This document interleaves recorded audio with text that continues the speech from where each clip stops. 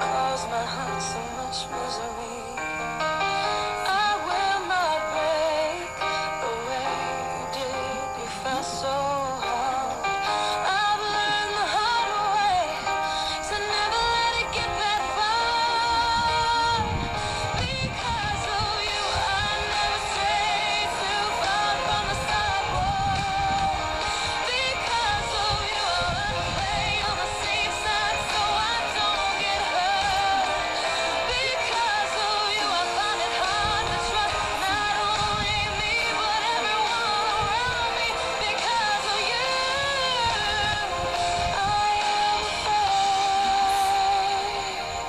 We like this one.